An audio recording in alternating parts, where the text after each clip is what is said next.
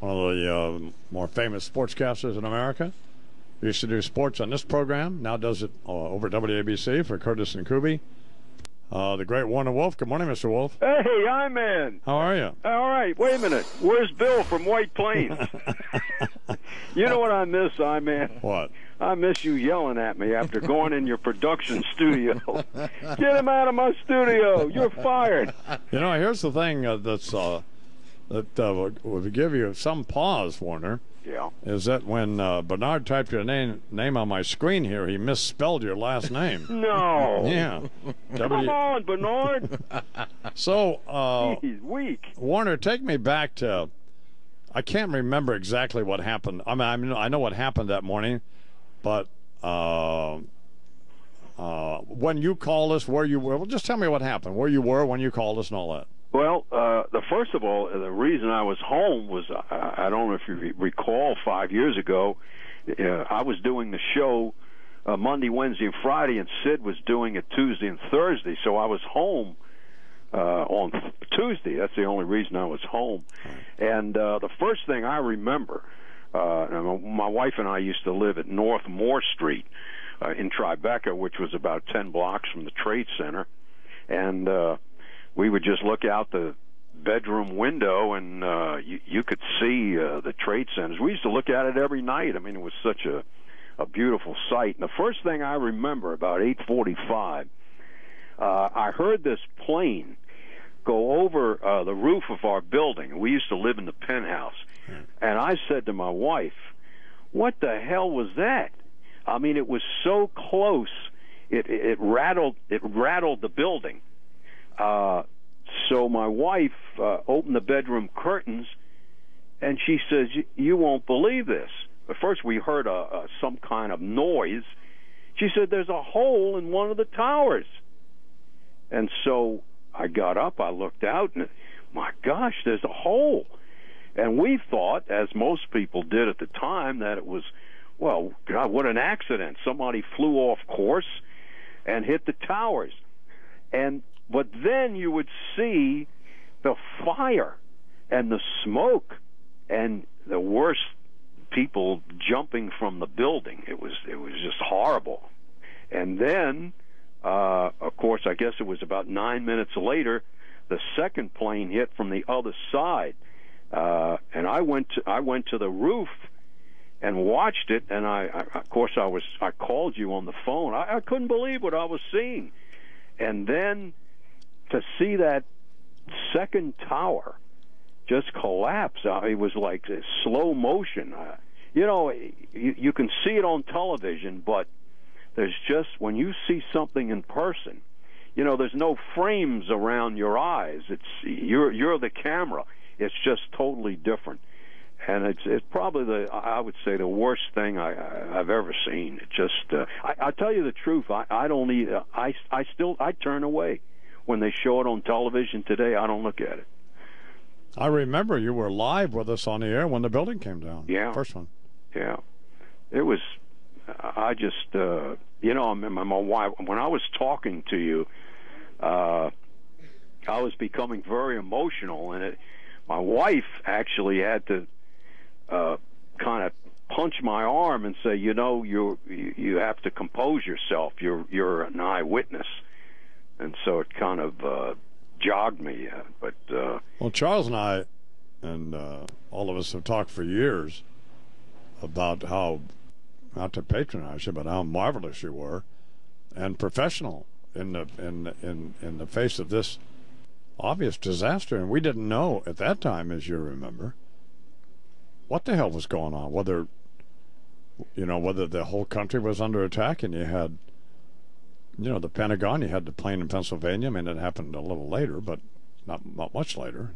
No, nobody knew uh, what was happening, and uh, I, I think the other thoughts that uh, I still remember uh, uh, right after that, uh, because I lived on North Moore Street, right off West Side Highway, uh, and everything was closed off except for the fire engines and emergency vehicles. Uh, they needed things like blankets and socks and I, I remember my wife and I loaded up uh, uh, suitcases full of uh, blankets and socks and uh, took them to this building.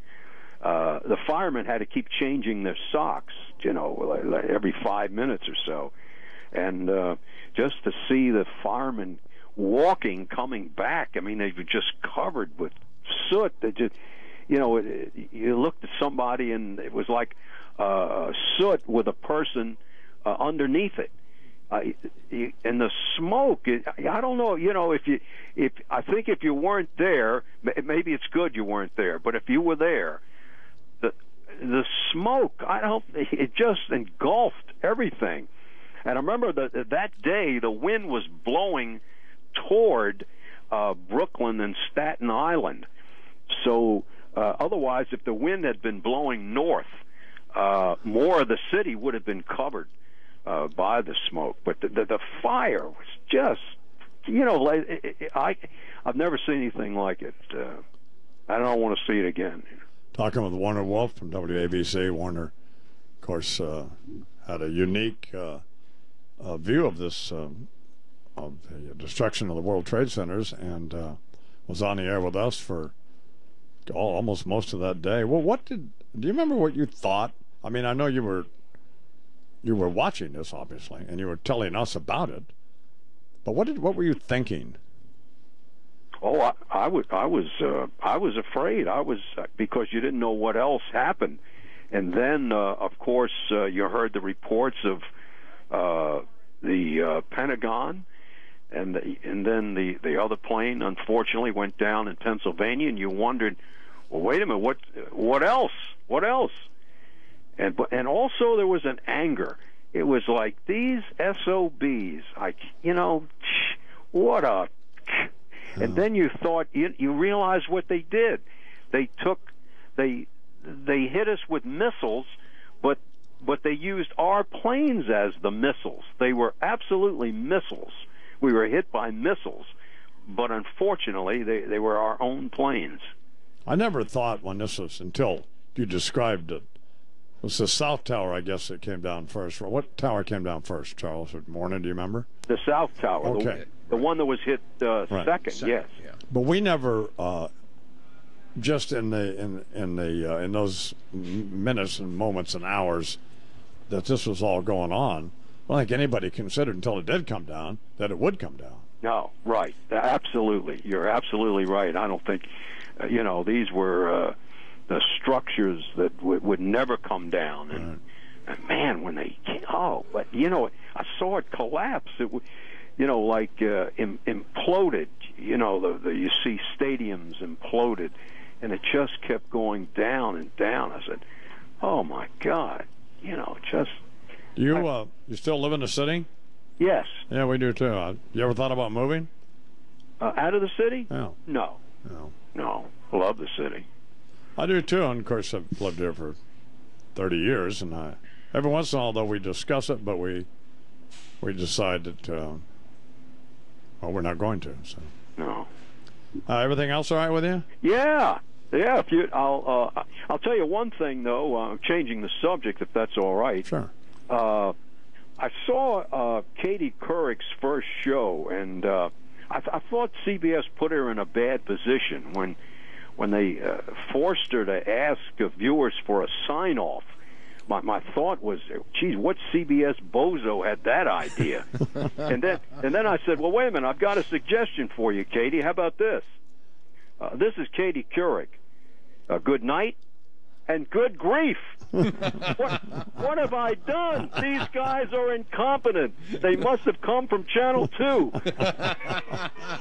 Thanks, Warner. Okay. Thank Thanks you. for doing this. All right, man. Yeah, I appreciate it. Okay. Uh, Warner Wolf from WABC here in New York Radio. Uh, and um, I'll always, I've never listened to the tape of that morning, nor will I. Uh, well, I just wouldn't listen to it. But boy, he was remarkable. Absolutely. It was terrific then in re- recalling it. Because he was right there. Yeah. 10 blocks away and who knew what was going on. And I remember when he got a little emotional, but yeah, managed to pull himself together. But you know, just I can still hear his voice when the tower came down. As I can too. I mean, I've thought about Just- that for, yeah. and I've thought about those people forever. Yeah.